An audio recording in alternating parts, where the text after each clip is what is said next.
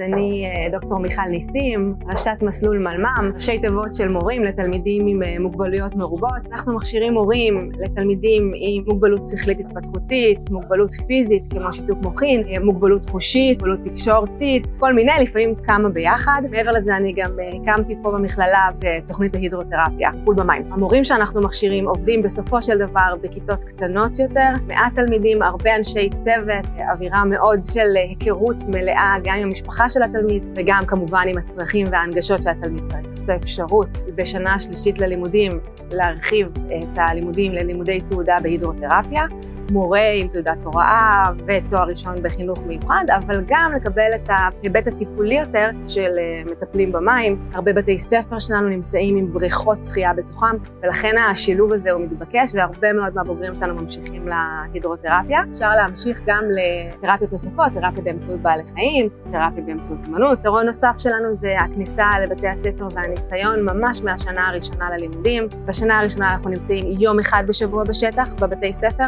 בשנה השנייה יומיים, ובשנה השלישית אנחנו כבר נמצאים שלושה ימים. הסטודנטים שלנו מוכנים לשטח בצורה הכי טובה. האווירה פה היא שיתופית, מאוד חברתית ותומכת, ואנחנו נשמח אם אה, תצטרפו אלינו.